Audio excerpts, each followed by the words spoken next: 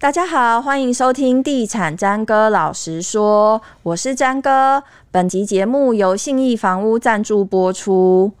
最近我在观察我们自己 ET Today 房产云所写的一些新闻里面，很多点击数很高的新闻呢，都是来自于豪宅陪售的新闻。其实我发现，就是有一种就是外行看热闹，内行看门道的感觉，就是外行人可能会觉得。诶，我不是说网友是外行人哦，我只是觉得说，就是大家对于诶名人陪售这些豪宅好像很感兴趣啊。有些人动辄一赔就是三千万，甚至可能有出现有八千万陪售的案例。那大家会想说，诶，你终于赔钱了，你终于不是有钱人了，一种仇富的心态。但是其实这些有钱人他在选择。出清他的资产的时候，他还是有他的算盘的。今天我们邀请到专家来帮我们解析资产的进出呢，它是有什么样的盘算？欢迎台湾房屋趋势中心资深经理定中，欢迎定中。咦，张哥好，各位观众大家好。你今天要来帮我们讲有钱人的小算盘。对，虽然说我也不是有钱人，但是 就是偶尔会打打算盘这样子。我刚才一开头讲说外行看热闹，内行看门道，其实我们也是外行。对，我们只是在揣测人家的小算盘而已。就是资产可能一百万没有，但一百块拿得出来。但一百块也买不起，可能豪宅里面的卫生纸买得起来。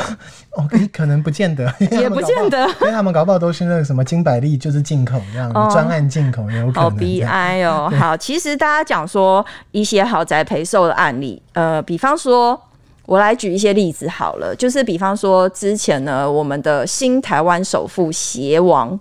邪王他在呃。去年的时候，他卖掉了他的他持有的一户地保，然后那时候他在二零一四年的时候，他是用四点四七亿买进，然后他持有七年之后呢，他用大概三点九亿卖掉。那我们算了一下，他赔售是将近四千八百万，这样子的金额，我们就已经觉得哇，赔掉四千八百万很惊人哎，四千八百万大概对我们来说，应该可以买几户。嗯，应该可以买个几户小宅吧？哦，对，小宅如果在万华买的话，你可以买大概有十，可能没有到十户，但是应该有个五六户。五六户小宅，就是可能台北市比较蛋白区的小宅，对，都可以买个五六户。然后呢，这已经不算是很惊人的案例哦。我们讲，我们讲的都会是这一两年的例子啦。那去年六月的时候，呃，可以号称是现在新豪宅王的西华富邦。它的十七楼户，它是用二点一亿成交。那我们查了，它的买它的那个前一手屋主其实是一个外资，他持有五年，然后卖掉赔售是八千三百多万，等于赔掉了一间台北市的小豪宅。嗯，也算是蛋黄区的豪宅喽，这个价格，对不对？所以它应该算是那个社区就是最大的一笔赔售记录，而且那个社区其实很多有名的人，连大家都知道的那个台积电的老板也都住在那里面。但是呢，我们后来有查过，就是这笔买卖，它的买卖好像都是同一组人。所以有可能是一个资产配置的结果，所以导致我们看到账面上赔了八千多万。那不要说只有台北市，就是其实新北市很知名的豪宅也也曾经传出赔售的案例。那我们最喜欢开玩笑的就是屡卖屡赔的新版特区的一个社区，因为他屡卖屡赔，我就不要再点名他是谁了。然后他就是他有。呃，比如说到现在他有八笔转手的记录，然后每一笔都是赔售收场，然后最最惨的是赔了大概三千八百万。那这些都是我们在呃新闻的露出的时候点击数很高，大家呃狂点来看，就会觉得说哇，有钱人终于资产终于消耗了一些了，他们真的赔了吗？呃，就是。不姑且不论他们是不是真的赔，但是人家都说瘦死的骆驼比马大了，所以其实骆驼比马大。对对对，所以就算他们的资产可能，就算他们是真的赔缩水了一点点，那整体的资产量，我相信还是很还是很多，还是很可观。对对对，那当然可能像刚刚张哥就有提到说，可能有一些案家可能搞不好是同一组的这个买方跟卖方，他其实是同一组的人嘛。嗯，对。那呃，比方说像我们知道说房地合一这件事情来说，在交易上面是有获利才课税嘛。对，那换言之，有获利才课税，那就是没获利不课税了。嗯，对，那所以如果你本身是以这个，假设你是同一组人嘛，嗯，然后你用一个比较相对低的价格卖给，其实也是跟你这个有一些关系的卖家的话，那其实你这样是没有这一个房地合一税的延伸嘛，因为你赔售啊，甚至你平转，嗯，对，那相对起来可能它就是这种就是属于税务考量的，嗯哼，对，所以有的时候可能账面是不是你会觉得说，哇，太棒了，好开心。他真的好像这个损失蛮多，哎，但实际上而言，搞不好他其实是有一些节税的观念在里面。哎，可是还有很多网友就会在下面说：“你看吧，房价跌了，所以是真的跌还是？”当然，反映在实价登录上面的话，毕竟它是一个相对起来跟前一手取得是有落差的嘛，而且还落差不小。那当然，有些人可能因此会对那一个社区的这一个行情觉得是不是有往下拉啦？嗯，对。但是有时候也是要看一下，就是因为是其他东西有时候备注栏很重要。嗯，如果说它真的是譬如说关系人交易，有些时候它有备注。嗯，那如果它备注上是关系人这种特殊型的交易的话，其实不会被当做是市场的。认知，嗯哼，对，所以可能不见得会完全对社区的价格造成太大的影响，嗯哼，对。好，那这些陪售的案例来看，我我们想要了解说，富豪他陪售他的豪宅，他是真的不在意它的价格吗？还是他有其他的盘算？对，就是我们相信说，只要是人啊，没有人对钱是完全不在意的。对，就是像有些人都说。哎呀，可能视视粪视金钱如粪土，嗯，我个人是视粪土如金钱，对对对。你说你有在平常有在视粪土的一些习惯？我个人主要是只要是这个所有能够是用钱而滋生的物品，我都当它是钱这样子。对，那我所以我相信说，如果说大家今天拥有一个资产都。不太会想说他应他会赔或什么之类的，所以我想完全不在意那一个赚赔，基本上这个应该可能性没有这么大。但是我们会不会有一些其他的考量呢？当然也是会，比方说像这一个，刚刚刚好提到，可能有一些陪售物件，它可能是个外资。嗯，那有一些外资，它可能呃，如既然它本身是外资好了，那可能前一阵子它可能发现说，现在可能美国升息啊，嗯，而且升息的幅度很大嘛，那可能跟台湾产生的所谓的利差，嗯哼，那可能就想要快点把资金移回去。去，譬如说这个他的本国，嗯哼，哦，可能在本国的投资效益比较好，嗯哼，那这个时候他觉得他在本国的投资效益的那一个这个获利的幅度可能会大过于他继续这个在台湾投资的幅度的时候，他可能就会结清他在台湾的资产以后移回他的本国投资，就是一个资产配置的对资产的配置的转换。那这个有的时候如果是外资的话，这个就是有可能会发生的事情哦。等于他就是快点把他的资金移回到他认为投资上更有效益的地方，是。对，所以。那这个部分，你我们表面上看起来好像觉得哦，他在台湾赔了，卖卖房子赔了，嗯，可是搞不好其实他在美国的投资大赚。哦，所以一来一往，哎，你刚刚那个大赚有吓到我，可以不要突然这么大声，我想要这样才有那个大。感觉对 对对，好，嗯，对对对，所以有的时候，因为毕竟我们我们一般的一般的我们是一般的庶民哦，很难洞察说一个人的名下到底有多少的资产量，搞不好其实他一来一往，实际上他资产并没有缩水。嗯哼，对，嗯哼。那除除了这个资产配置上面的用意，刚刚有提到一个，就是呃，比如说他一买一卖之间是考虑到税务的部分，可能对。那比如说现在很多富豪他会喜欢用法人来买房子。所以这个部分是不是也有它的考量在？呃，如果是在这个房地合一二点零上路之前，也就是在去年七月以前的话，去年七月以前的话，是因为那个时候的房地合一税是这个法，只要你是法人的话，你都是按照营所税的税率来课税嘛，哈，就是一点零时代的时候，嗯，那你也不管你持有几年，所以你就算短进短出也是按照营所税。那营所税的话是扣二十趴，嗯，那相对起来，你如果是短进短出的房地合一，在一点零时代可能要扣到三十五到四十五趴。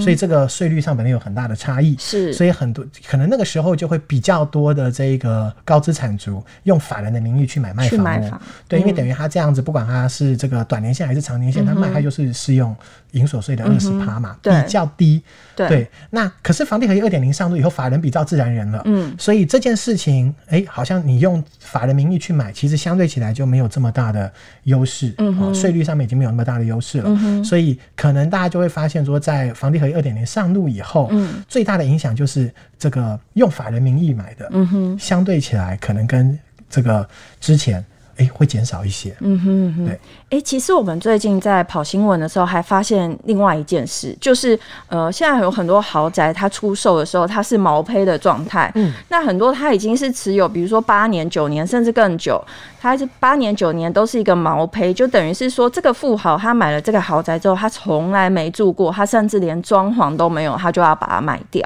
嗯，所以我很，我们就会很好奇啊，就是。富豪他在最近这一段时间，虽然很多人说哦资金回来台湾，所以很多人开始出手买办公室、买豪宅，但是其实也出现了一个太弱留强的现象。那你们自己观察，就是富豪他们对于什么样的产品他会选择留住，什么样的产品他不要了？嗯，那这个部分呢，其实我们知道说，因为富豪嘛，他们买的大部分都是豪宅，但是豪宅也是有分的嘛。对，比方说，我们常常大家可能都会讲说，豪宅聚落，豪宅聚落。嗯，所以大家大家可以知道说，其实富豪会。买的通常都是对某个区段有特别的认同度，所以我们才会说什么信义计划区是个豪宅聚落，仁爱路沿线是个豪宅聚落，那大安森林公园周边等等的。好，那相对起来，如果说你今天你的这个物件啊，这个豪宅社区这个物件，它本身不在富豪们认知的。豪宅聚落，嗯的话，那换言之就是那个地段性可能相对没那么出色的，可能它就会在这个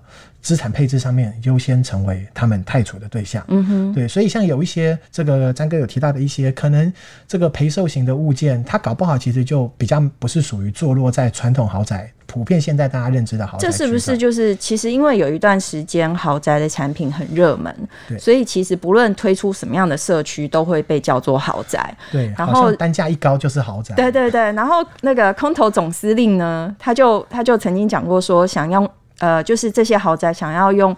呃 hand ten 的品质卖爱马仕的价格。嗯，就类似是这样子的产品，他们就会选择在这个时间点就先把它淘汰掉。没错，没错。那当然，我们刚刚提到第一个是地段嘛，地段上面的取舍。是。那当然还有就是社区的整体规划，包括软体、硬体啊。比方说，有些豪宅它可能呃只是单纯价格上是豪宅，但是它可能这个整体的这个社区的管理品质可能没有这么理想。是。啊，那如果这个时候有一个富豪，他同时拥有东方文华级的这种管理，跟一个可能只有一般物业。管理的嗯豪宅，那可能就会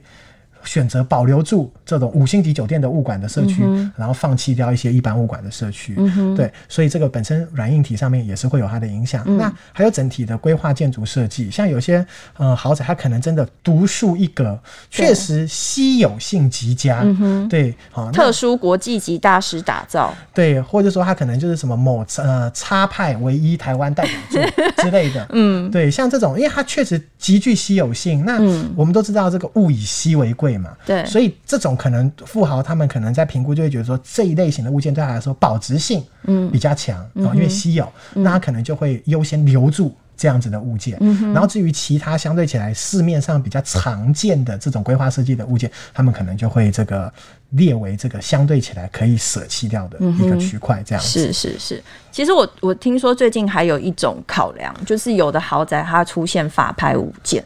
然后富豪就会决定说，哎，这个这个社区开始带赛了，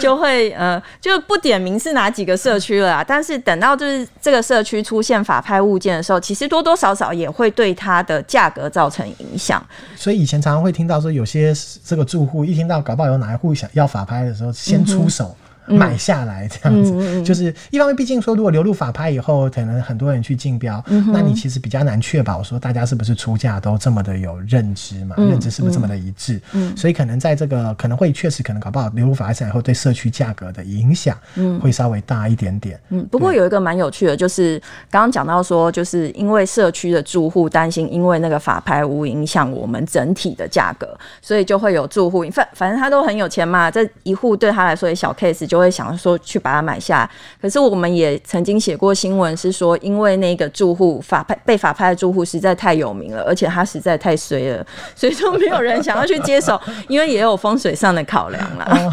对，气运也是非常在乎的一点。对，确实之前有些有些人讲说，可能有些富豪他们在意的时候，那个。